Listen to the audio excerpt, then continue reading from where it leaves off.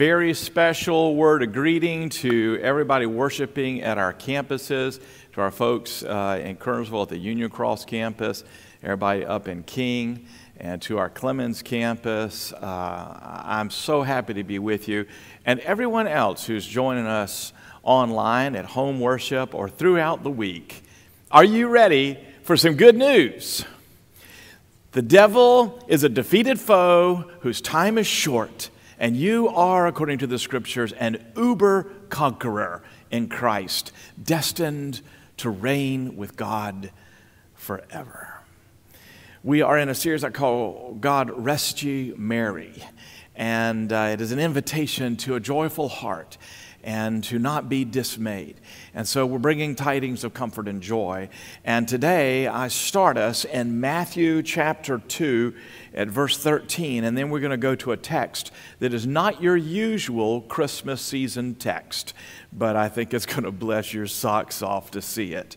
Matthew chapter 2, verse 13. Now, when they had departed, behold, speaking of the Magi, an angel of the Lord appeared to Joseph in a dream and said, Rise, take the child and his mother, and flee to Egypt, and remain there until I tell you, for Herod is about to search for the child to destroy him. And he rose and took the child and his mother by night and departed to Egypt, and remained there until the death of Herod.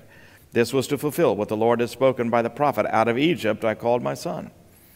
Then Herod, when he saw that he had been tricked by the wise men, became furious and he sent and killed all the male children in Bethlehem and in all that region who were two years old or under, according to the time that he had ascertained from the wise men. And then was fulfilled what was spoken by the prophet Jeremiah. A voice was heard in Ramah, weeping and loud lamentation, Rachel weeping for her children. She refused to be comforted because they are no more. And then this is our essential text, uh, believe it or not, for this Advent day in Revelation chapter 12, verse 4. And the dragon stood before the woman who was about to give birth, so that when she bore her child, he might devour it. And she gave birth to a male child, one who is to rule all the nations with a rod of iron. But her child was caught up to God and to his throne. Let nothing you dismay. Had a real treat uh, last Saturday uh, against all odds, was able to go to an in person college football game at uh, the University of North Carolina, Chapel Hill. Was able to go with my wife and join in with my daughter, uh, who uh, is a senior there, and to go to uh, a game. We just so wanted to go to a football game. My daughter's last season there, and uh, only 3,200 or so, 3,500 tickets available out of the 52,000 seat stadium. And we had a, a, a, it was a chilly day, but a bright sunny day, and we had a great time. And it wasn't that much of a game because um, uh, the Tar Heels were playing the Catamounts of Western Carolina, of course, who are in a different division.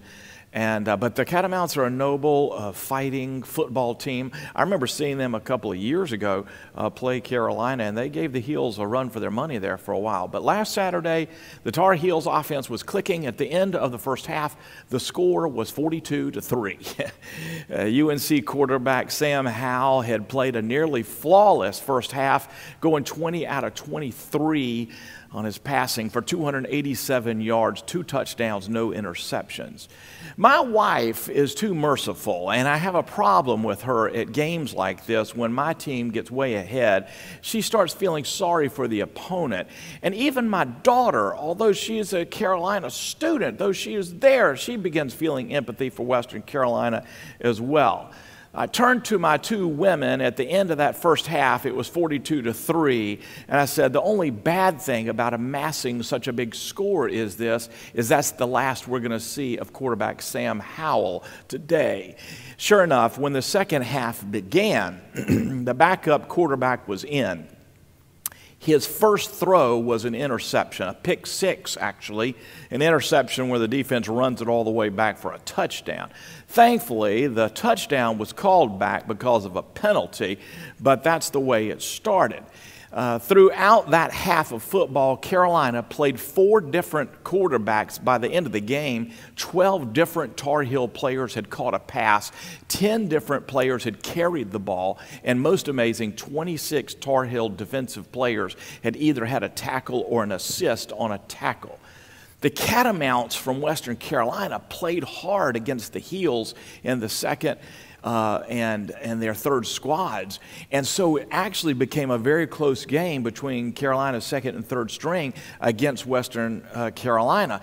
And so while Carolina, the Tar Heels, scored six touchdowns in the first half, they only scored one touchdown in the second half. And the Catamounts also scored a touchdown, missed their extra point. So technically, in the second half, Carolina only beat Western Carolina 7 to 6. So if you had just watched the second half and you didn't see the scoreboard and you had not seen the first half, then you would have thought this is anybody's ball game. You would have thought that, that, that this was a very tight match. You would have thought that one wrong move and the Tar Heels could have lost. But if you had seen the first half as we had, then you would have known no, no, this game is not close at all. It's still being fought hard, but the game was decided long ago. Yeah.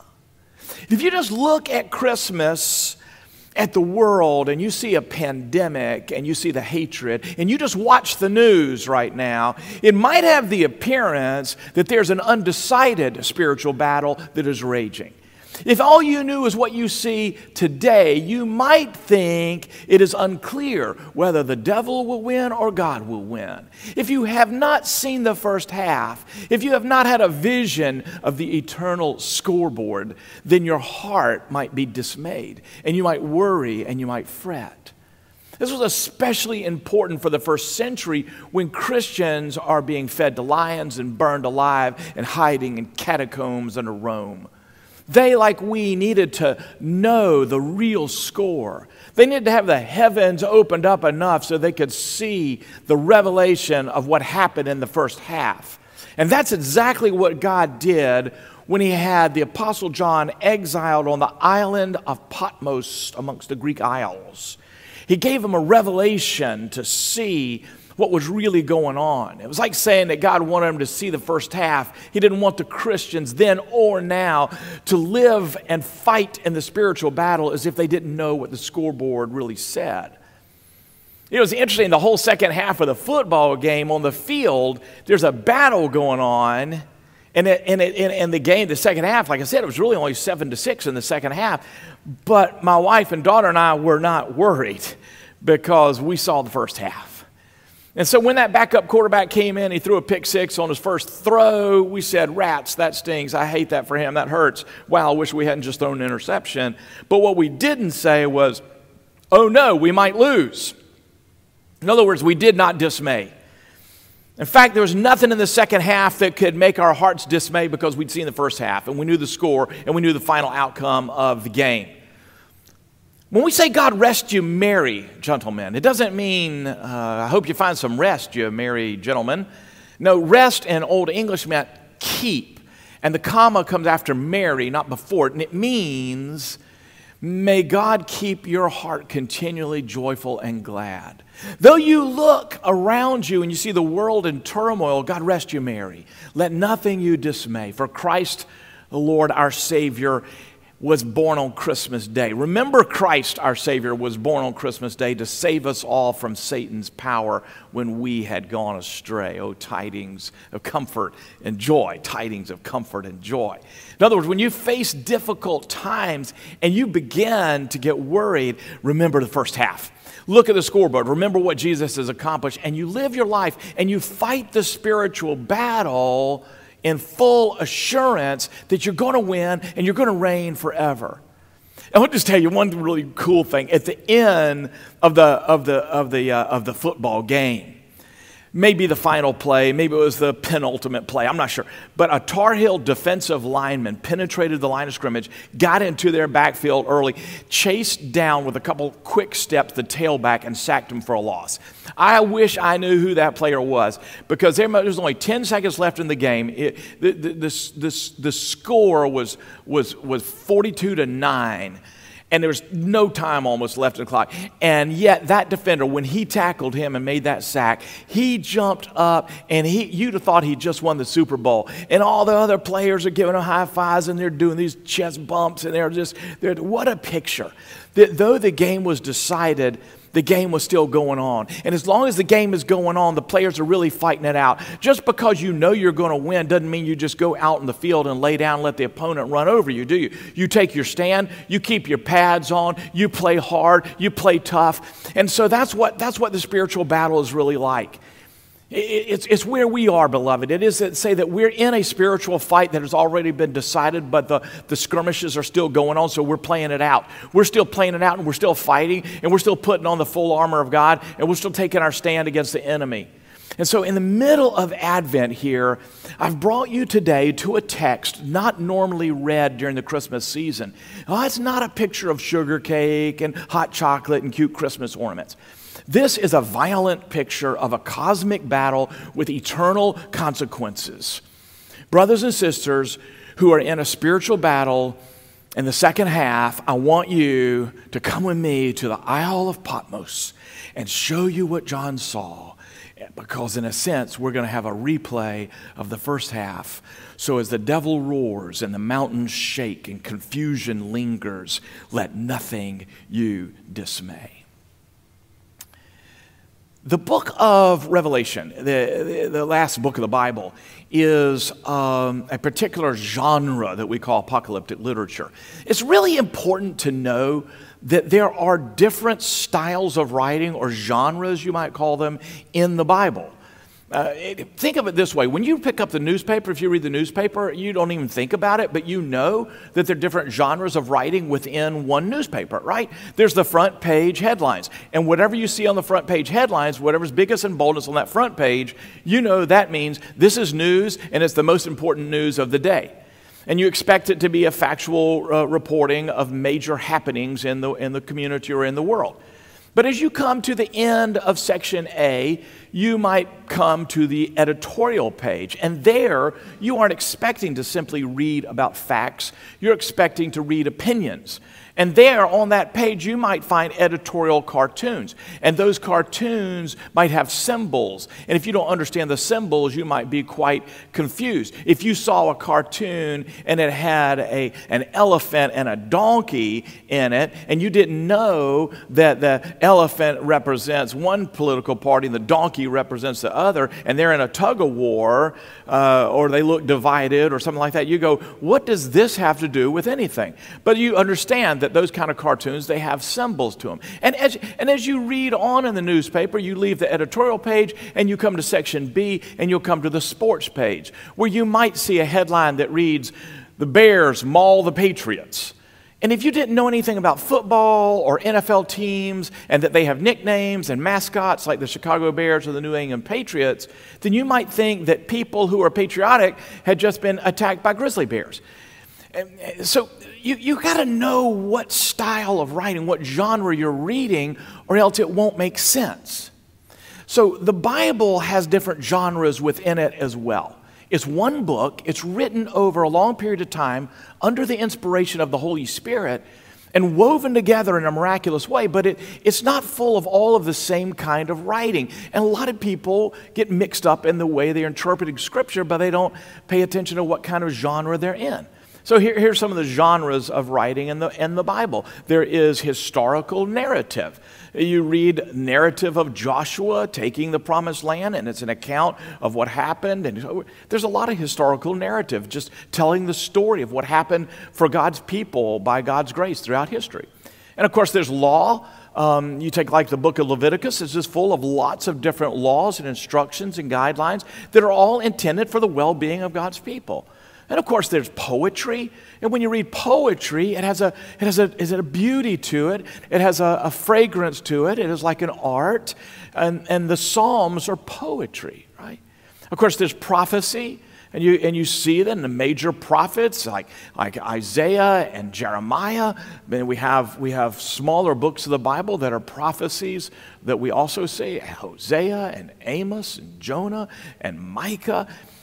And, and, and, and prophecies are the forthtelling of, of God's word and, and telling about things that are to come. And, and then there are, of course, especially you see in the New Testament, epistles or letters that are, are written. Paul, much of the New Testament is Paul has written letters to his congregations that he started. And so that you, you have a certain way that you write when you're writing a letter. And of course, they're gospel narratives. They're like narratives, but they're also, they're so oriented towards telling the story of Jesus and the good news that they read that way.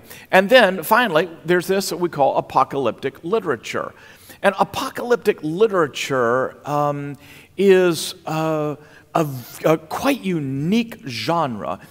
Apocalyptic literature, uh, this genre, it comes from the Greek word apocalypsos, apocalypsis, which means uh, revelation. So uh, the apocalypse means a revelation. And that's the name of the book, uh, the last book of the Bible.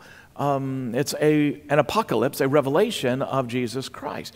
And what we know about apocalyptic literature from what we see in the Bible and other writings from that same era of time is that there are some common characteristics.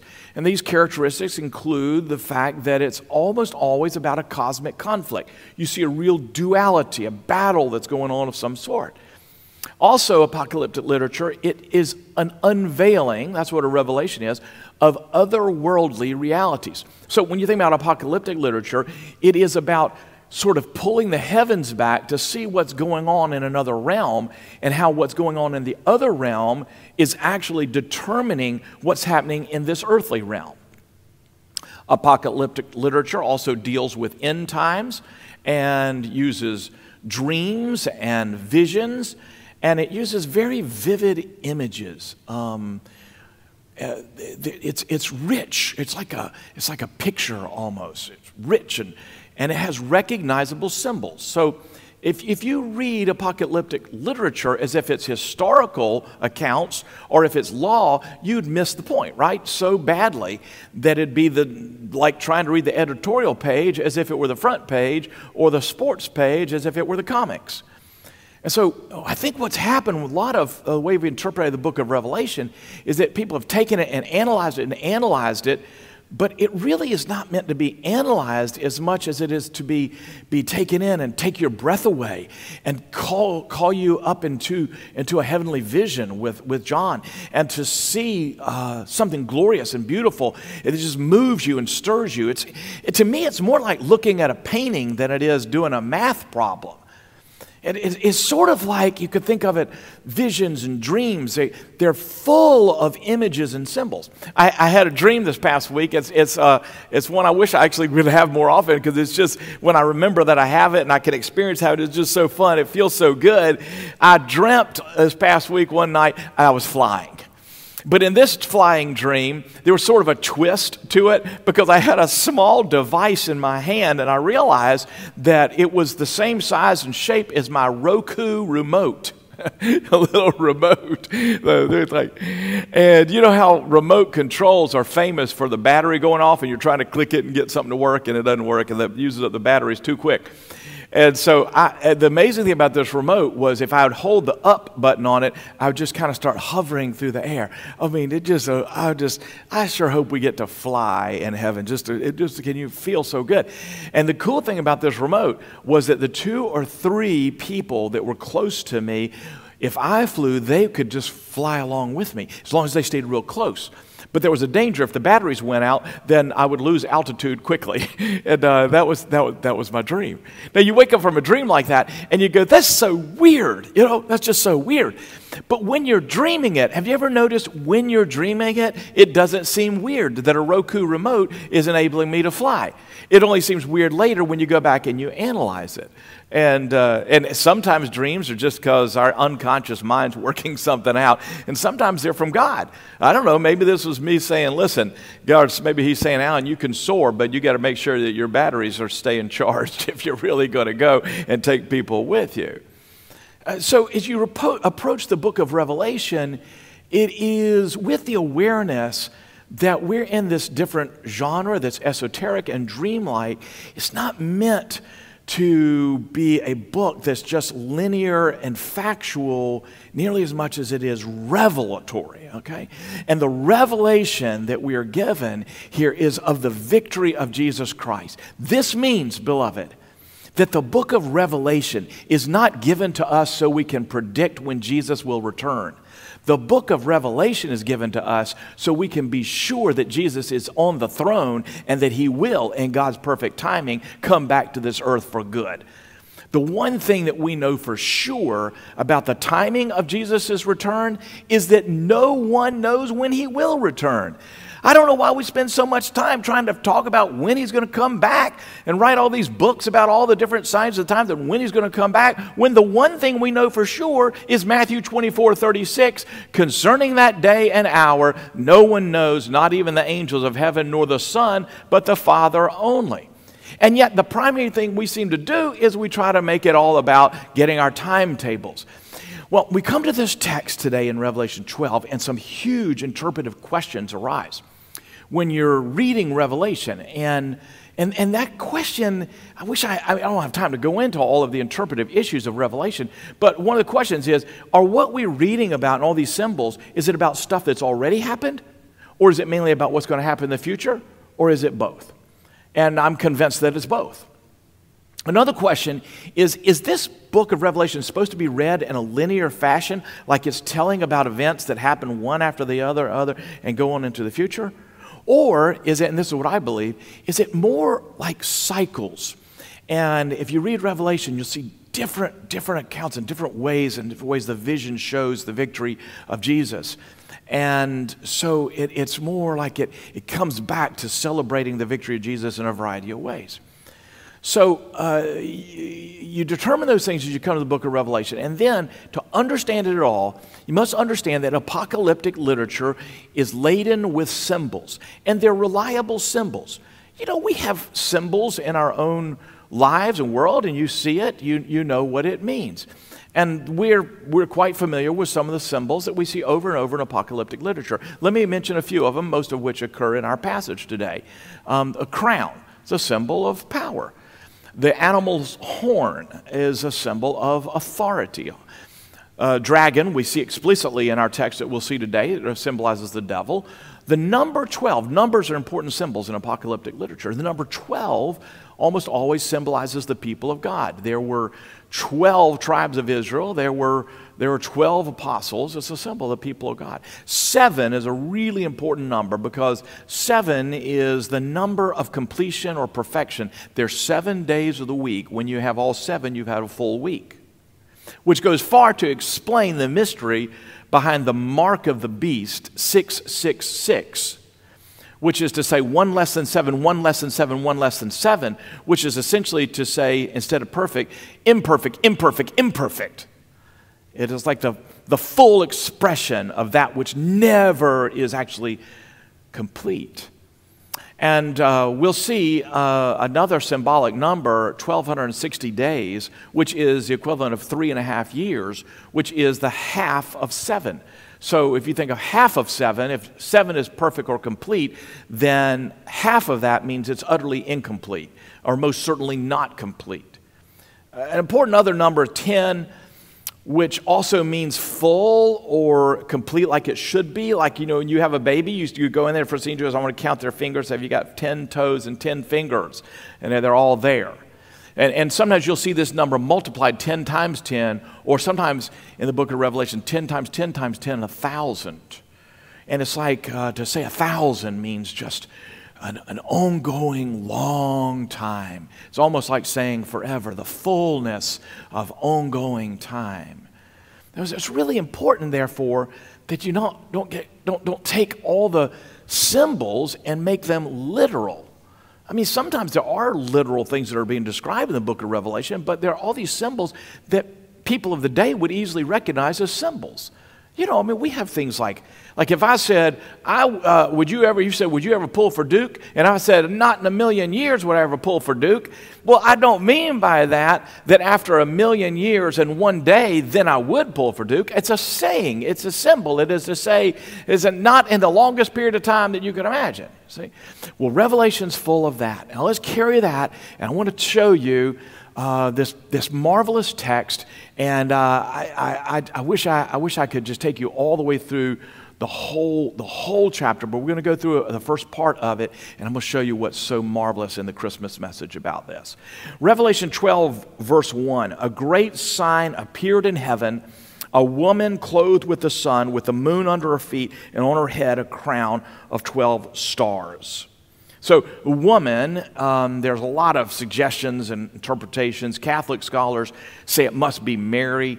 Um, some cults have tried to claim it, like uh, Christian Science has said it's, this is referencing their founder, Mary Baker Eddy. Um, uh, some say that the, the, the woman is Old Testament Israel, some say it's the New Testament church.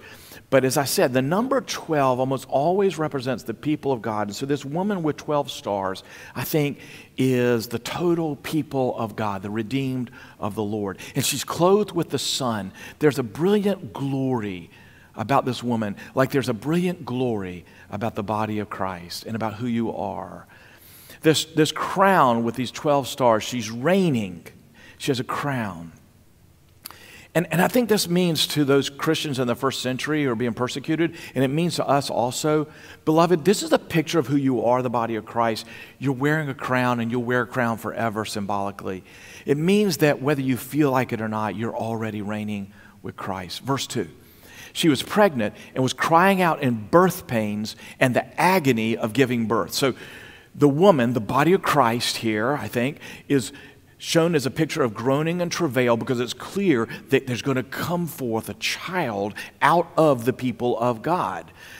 Verse 3 And another sign appeared in heaven. Behold, a great red dragon with seven heads and ten horns, and on his head seven diadems. So, dragon is used in the Greek translation of the Old Testament uh, the, the, the Septuagint, and is, it is depicted as the evil sea monster that rises up out of the sea and symbolizes the kingdoms that oppress Israel. At one point, Pharaoh is called the great dragon.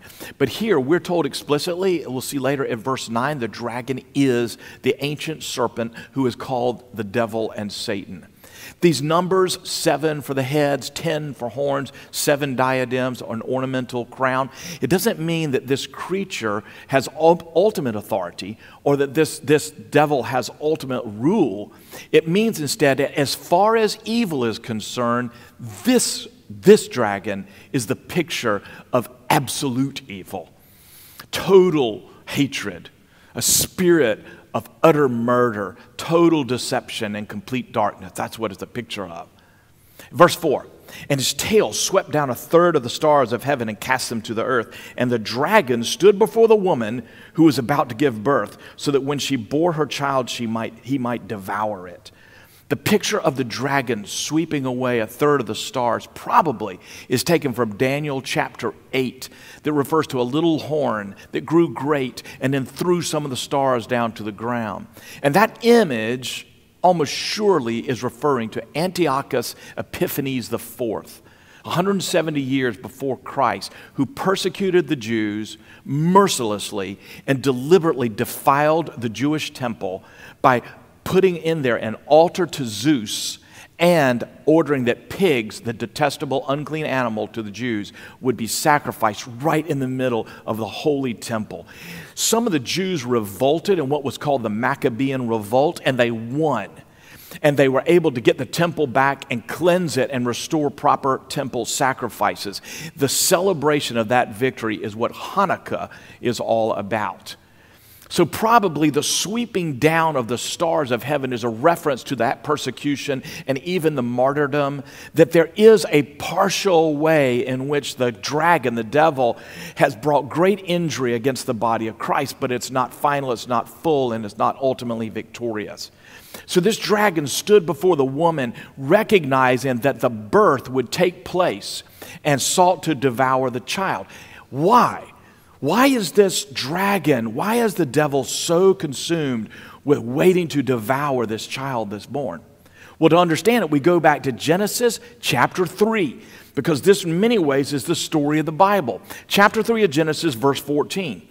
After sin had entered the world, and God spoke about the consequences of this, he then turned to the serpent at verse 14, and he said, Because you've done this, Cursed are you above all livestock and above all beasts of the field, and on your belly you shall go, and dust you shall eat all your days. And listen to verse 15. I will put enmity between you and the woman, and between your offspring and her offspring, and he shall bruise your head, and you shall bruise his heel. So God was saying literally to the serpent, I'm going to put enmity between your seed and her seed, between the seed of the woman and this serpent's seed. And what he's saying is that the seed of this woman is going to literally crush your head, and all you'll do is strike his heel. We know that the seed of this woman ultimately is Jesus himself because of what Paul says in Galatians 3:16. He says, Now the promises were made to Abraham and to his offspring. It does not say to offsprings, referring to many, but referring to the one and your offspring, which is to say, seed is the word here, who is Christ.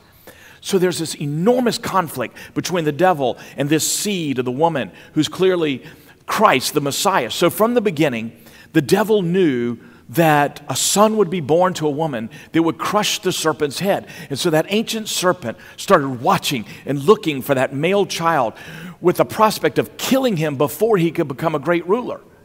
Well, the first two sons were born, Cain and Abel, and when they were born, they brought off, after they were grown, they brought offerings to the Lord, and the Lord was pleased with Abel's offering, but not Cain's.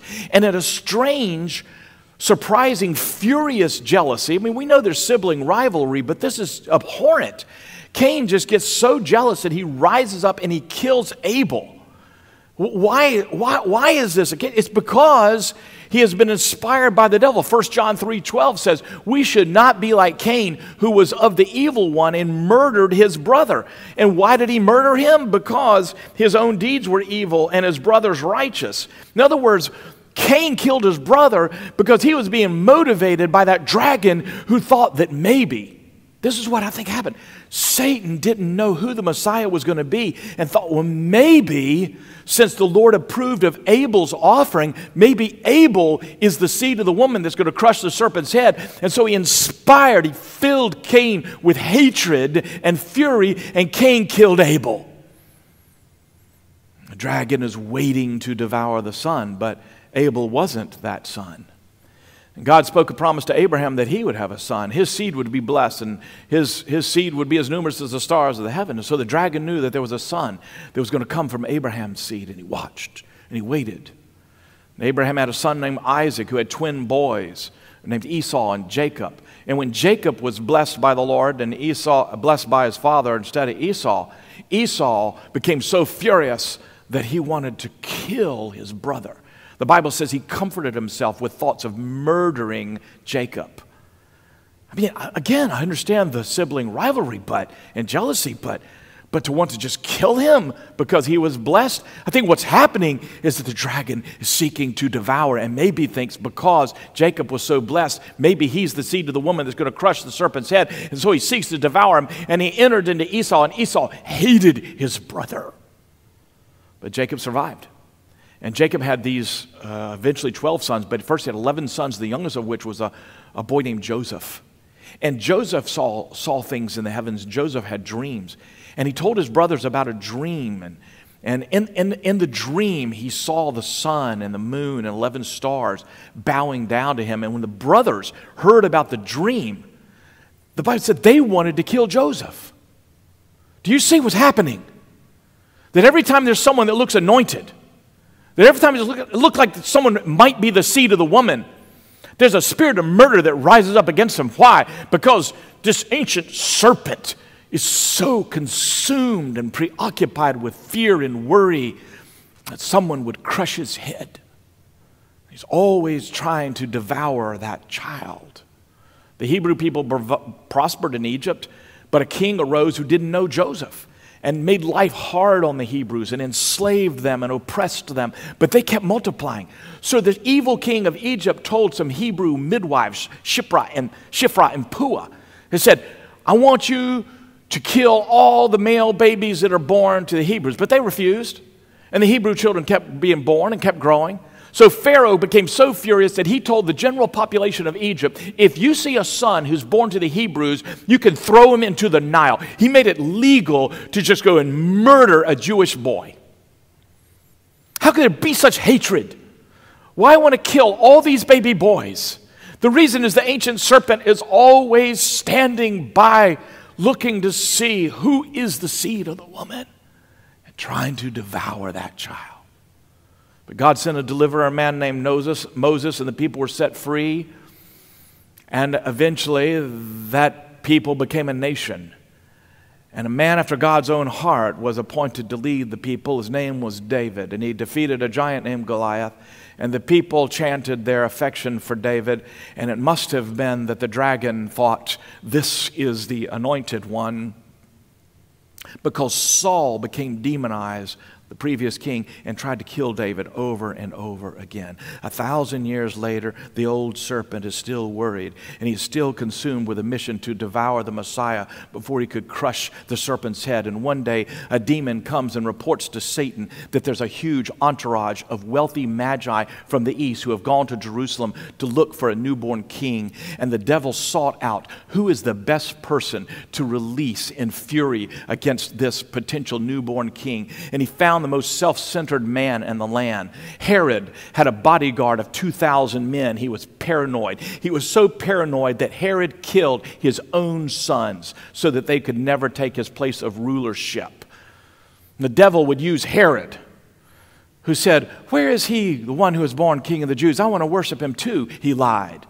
And the devil was waiting, working through Herod, watching waiting to devour the son, who this time was the seed of the woman. But God warned Joseph, and the baby Jesus was spared. So, what did Herod do? He turned his fury towards all the male babies, like Pharaoh. He said, If I can't find them, I'll kill them all. And so, all the children in Bethlehem under age two were murdered by a demonized tyrant. But baby Jesus grew in wisdom and stature and favor with God and was called back out of Egypt where he'd been hiding and went on to confront the devil, devil in the wilderness and everywhere he went to cast out demons. And Jesus said, If you see me casting out evil spirits by the finger of God, you will know that the kingdom of God is at hand. And so, what happened, we see in this Revelation chapter 12 again at verse 5, is this woman. This is a picture of the people of God. Out of her comes the male child, one who is to rule all nations with a rod of iron the strongest thing known in that era. Iron cannot be beat. But her child Jesus, was caught up to God and to his throne. He wasn't killed, he was resurrected, and he ascended to the right hand of the Father. And the woman, the church, the people of God, fled into the wilderness where she has a place prepared by God for which she is to be nourished for 1,260 days, three and a half years, a symbol of not a long, full time, but a limited time. That's what he's saying. For a limited time, the ancient serpent, the dragon, Satan, has turned his attention towards the people of God since he could not kill the child. And that's what all persecution arises from. And at verse 7, we realize war arose in heaven, and Michael and his angels are fighting against the dragon, and the dragon and his angels fought back, but he was defeated and there's no longer any place for them in heaven. So a huge cosmic shift takes place after this child who the devil tried to kill wasn't killed, but instead was raised from the dead, ascended to heaven. And the devil wasn't able to devour the child, and the seed of the woman has delivered a crushing blow to the headship of the devil, just as the Lord prophesied in Genesis chapter 3.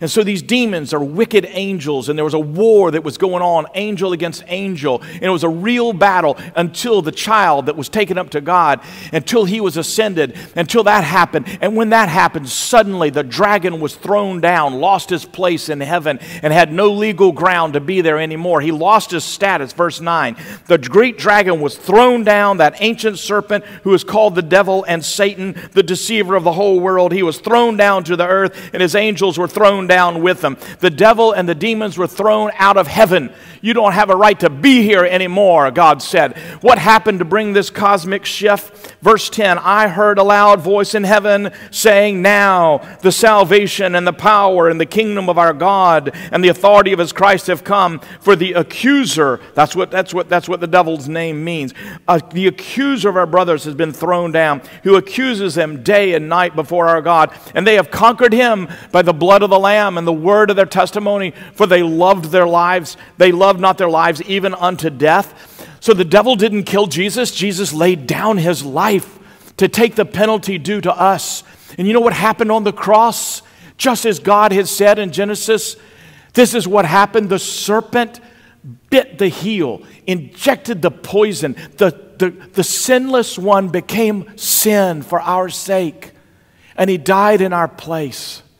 And before the cross and the resurrection of Jesus Christ, before you became a Christian, before the blood of Jesus had been shed for you and you had been totally forgiven and justified in God's eyes, then the devil, the prosecutor, the accuser, always had some kind of right to say, Judgment ought to be brought against this sinner. But when you're in Christ, when you have the finished work of Jesus on your side, when you have the ascended Lord interceding for you, there is no case the devil can make against you. There is no prosecution that can take place against you. It's all been thrown out of court. The devil doesn't even have a place in the court anymore. Punishment has already taken place and Jesus has had it. And that's why we win by the, by the blood of the Lamb and our testimony that we speak of. And we don't don't worry about even death itself because we're guaranteed victory forever and forever. What I'm saying, people of God, is that this Christmas season, as much as ever before, what we need to remember is that we reign with Christ, and though we fight the battle and we keep our pads on, and the battle might look close, keep your eyes on the scoreboard. Don't forget the first half because it's already been decided. Jesus Christ is the victor, and you in Christ are victorious with Him. And that, in the end, is the message of Christmas, and that's the gospel.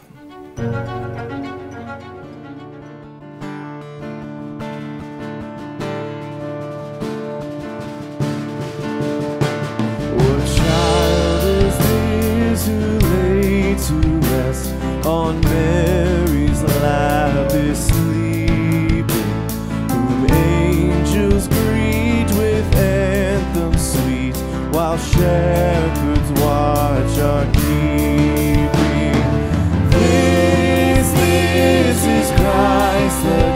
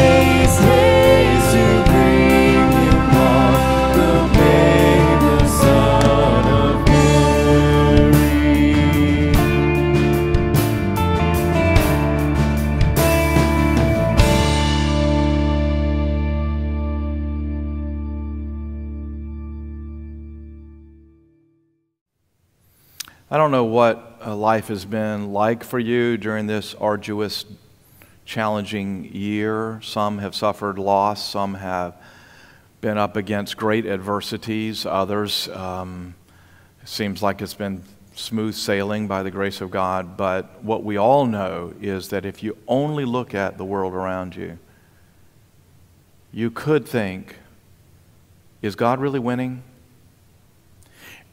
You, you could be in a second half of a football game and it looks like it could go either way if you didn't know what had happened in the first half.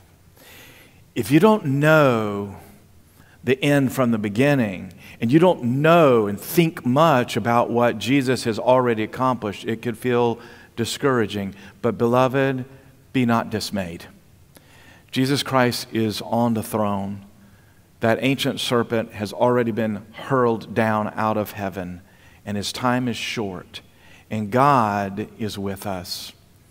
And I'm just praying for each and every one of you, whatever your particular challenges are right now, that this message of Christmas, the message of God coming and not being devoured by the enemy, but instead crushing the enemy's head, that somewhere in the midst of the beauty and the quiet and the sugar cake and the coffee and the ornaments and, the, and hopefully some sweet, sweet time with, with family members, that in the midst of it you remember cosmically the battle rages on, but the war has already been won. Especially important message if you've yet to ever say yes to the saving love of Jesus Christ the only way that that prosecutor's voice of condemnation will ever be silenced is for you to know that you know that you know that your sins have been forgiven. And you can say yes to the saving work of Jesus Christ. You can say yes in your heart and confess with your mouth that Jesus is Lord, and you will be a child of God assured of victory forever. God rest you, merry, all of you. And may the Lord bless you and keep you, and be kind and gracious to you, and make his face to shine upon you, and give you his peace today and every day, forevermore. Amen.